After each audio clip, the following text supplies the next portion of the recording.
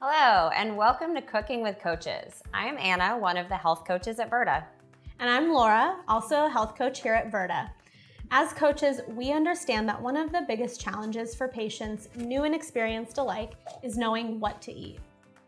Definitely. So today we're going to help you out by showing you how to throw together a really easy and tasty loaded cauliflower casserole. This is a really big fan favorite.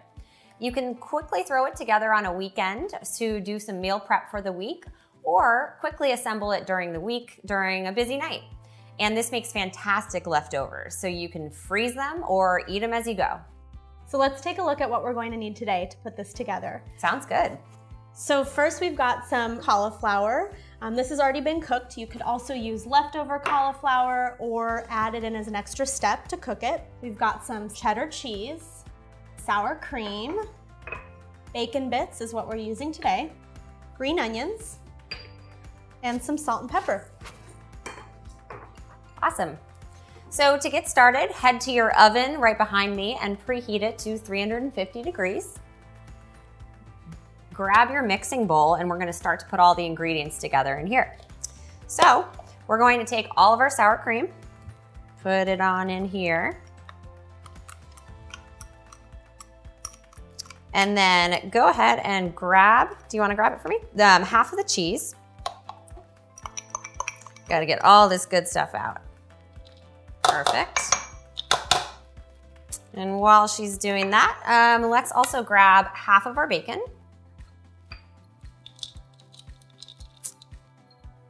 Just kind of want to snack on that.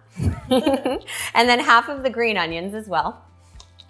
And that's just the green part, so don't use the white. Alrighty, and just give that a good stir. There you go. And then uh, don't forget the salt and pepper to taste. Sorry. Don't forget to take the cap off. Pro tip, yeah. Um, so chop your cooked cauliflower, or if you're like us um, and you already have it cut into small pieces, go ahead and add it into the mixing bowl. I'll help you out. Thank you. Give it a good stir to make sure everything's all mixed together. Getting a little messy here. Aprons would be a good idea, probably. all right. So once it's all stirred up like this and coated evenly with the sour cream mixture, um, you're going to want to place it in a casserole dish, a medium-sized kind of bacon dish like this. I think we can go ahead and do that. Yeah. Thank you. Just pour it right in. And then just spread it out so it evenly coats the bottom here. And then what you're gonna wanna do is sprinkle the remaining cheddar cheese on top, evenly across. It's my favorite part. Yes, so yummy.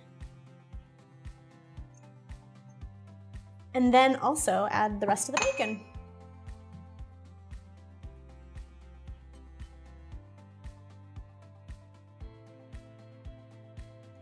Perfect.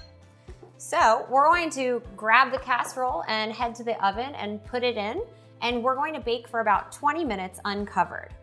You're gonna want to look for the gooey melty cheese that starts to bubble, and that's when you know it's done. All right, timer just went off, so let's go ahead and pop it out of the oven. Ooh, it smells good. Ah, perfect. The cheese is nice and gooey and bubbly, just how we want it. What you can do now is take the remaining green onions and sprinkle on top for some garnish and a little extra flavor. Makes it look a little pretty. And then once this is ready to serve, you can divvy it up and serve it alongside a protein for a full meal. You can also make it vegetarian by leaving out the bacon bits. All right, let's take a bite. Yeah, this looks so good. Oh yeah, melted cheese. Mmm. Cheesy deliciousness. Mmm. That is so good.